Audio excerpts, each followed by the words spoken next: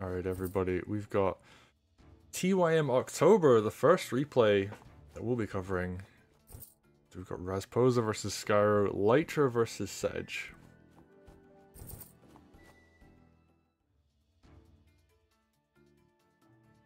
Yeah, and this is C&D. Yeah. Very old school map. Came along in like just after Double Trouble, I believe, was when we started playing on this. Um, had a rather infamous first iteration that was very disliked, and then was uh, quickly changed after that, and became I think actually like a fairly like popular map after that point. Definitely a lot of interesting games, and we have it here in Wargroove too. Yeah, and, and then we see a difference in the opening.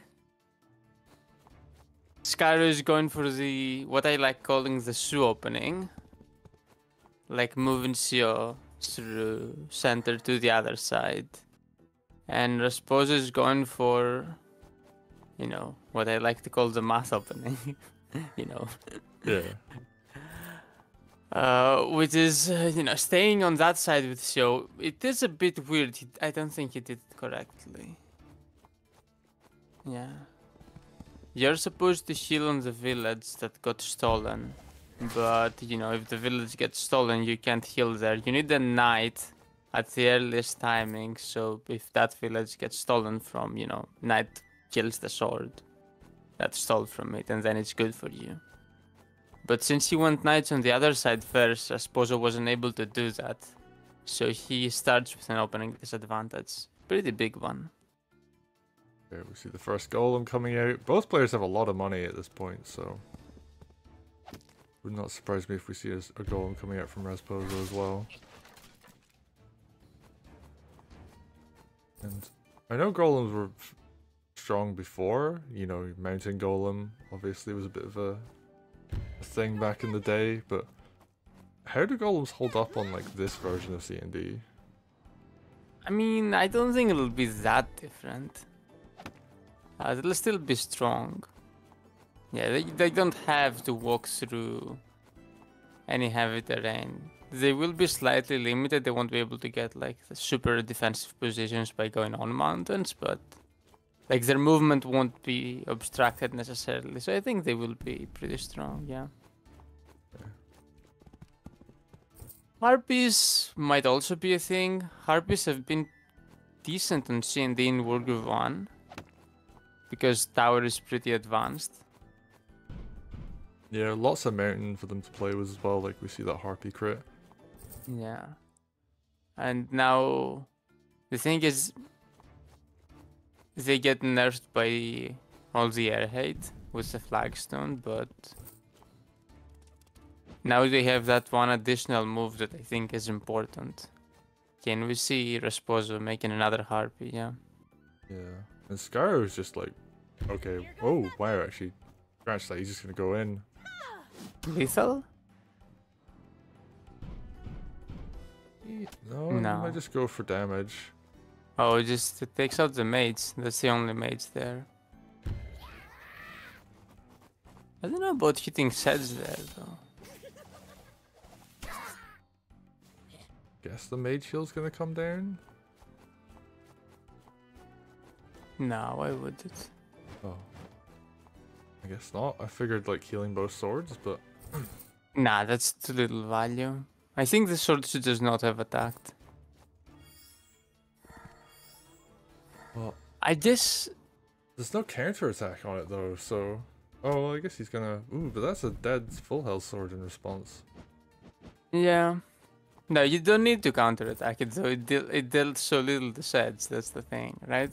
Yeah. It. Oh, but it did force him back to heal. Well, not like such good attacks there, right? True, but I mean, like the gold difference is probably gonna be more than anything like an, an annoyance. Okay, and now we just see Skyro just constantly putting pressure on. This is like a pretty good attack. Shocks the air trooper up on that mountain. Actually, yeah, both mountains are covered by air troopers there. I guess he's just using them to block terrain more than anything. And Trooper not horrible when it gets to sit on the mountains. Yeah, Trooper might be good on this map. It also might have like early ideas. Oh. Yeah, one Harpy dies. And it looks like Archer's gonna get hit. Yeah, Raspuss is getting like some big counterattacks this turn. Yeah, that south side's really not looking good for Skyro. But that being said, this north side is not looking great for Rasposo right now. Has to retreat with the commander. Barracks is under quite a bit of pressure. Lytra is going to have tier 2. I think Ooh, she's just out of range to actually grab stuff though. Like she could have potentially have yoinked stuff away from the barracks and then just taken it. Hmm, it, it still could be scary for Sads. Okay, not gonna pop tier 2 this turn, I guess. Oh, Oh, no. Oh, it can get killed on that mountain, yeah. Just gonna kill a golem with tier 2, that's fine. yeah. Although I wonder if you just skip tier 2 there, that golem is kinda trapped anyway, right? And then next turn tier 2 can be used to flip their axe. On the flip side, now that you have used tier 2 immediately, you probably flip the axe without needing it next turn. So, you know, both answers are around as good. Is pulling back a bit on the south Oh, yeah. Realizes they can't. Looks like his knight got crit by... Yeah, his knight got crit by Skyro's knight.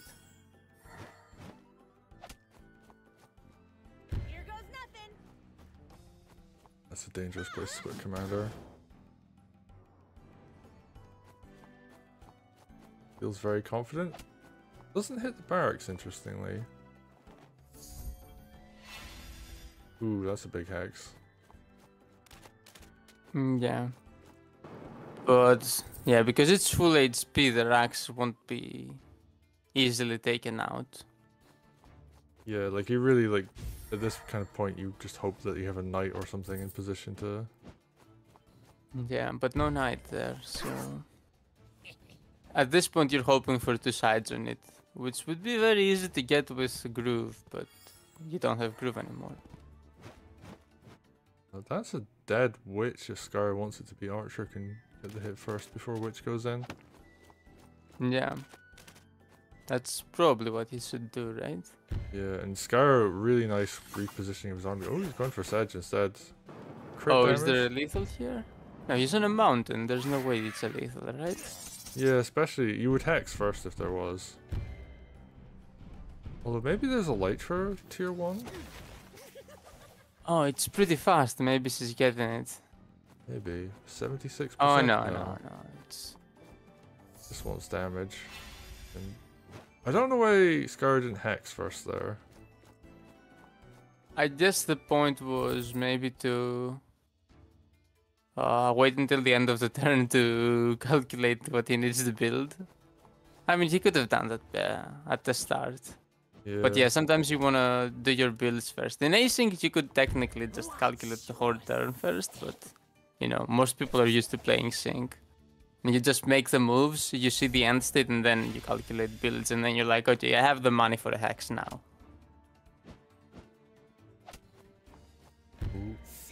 Now we're seeing the tier one getting some good value. Yeah, it's pretty decent. But does it save the axe? I don't think so. Oh, said didn't have enough money for a good heal. Only at six, that could be dangerous.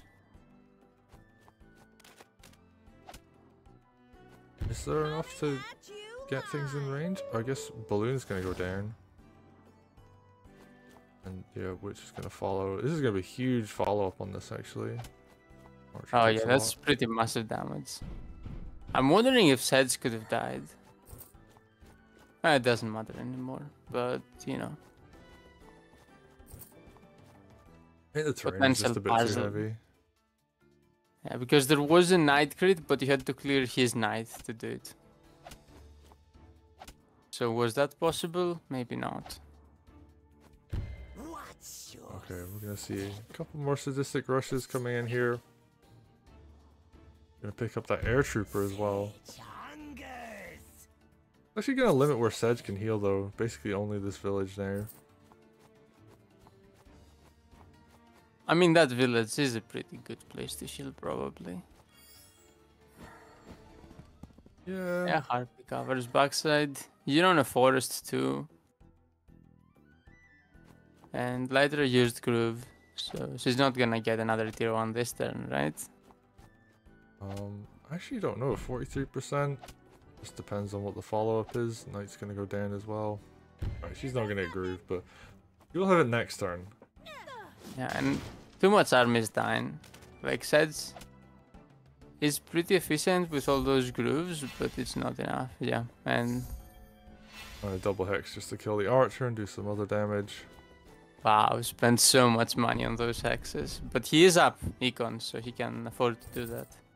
Yeah, I mean, like, you just want to press advantage at this point. And this Rax is done now. this poor mage at the top left has just been sitting there all alone, but... Yeah, and. Rasposo resigns. Recognize that the Rax is lost, so there is no way to play on. Yeah, actually, yeah, I can't build out of it anymore just because everything's trapped. Yeah, and it will be flipped in a few turns. Like there, there is too much there from Skyro. Yeah. I guess, like, if he had Sedge tier 2 at this point, like, maybe you can keep playing out, but... No, there's, Yeah. like, double golem and, like, you don't Oh, even enough- then, yeah. y if he needed to have said steer to like a couple of turns earlier, and then he would have won the fight. Probably. Yeah, but I liked Skyro's game plan of just, like, put a lot of pressure directly onto Sedge, make sure he can't just farm Groove. Take advantage of the fact that Lytra is really strong in this kind of heavy terrain. Like- yeah, Lytra has great ideas on this map. It might be like one of her better maps, maybe her best map Yeah? out of like uh, at least uh, Wargroove One style competitive maps, like the standard maps. Yeah. Because she would really like to push against either Rax or HQ, and you know, she o- does one or the other depending on your opening. Um, and then in both cases, there is like heavy terrain, and you're playing near the edge of the map. It's like very easy to kill stuff with her. Well, well played. Skyro's gonna take it. The first commentated replay of this TYM. I think I was the first person to submit a replay, but you know, I played it like super early and like did a live game with someone. But this Oh, feels it like was the on first... the FTA map too, right? It was on the FTA map, um, Yeah. which got fixed. So, but anyway, well played. Skyro gonna take it.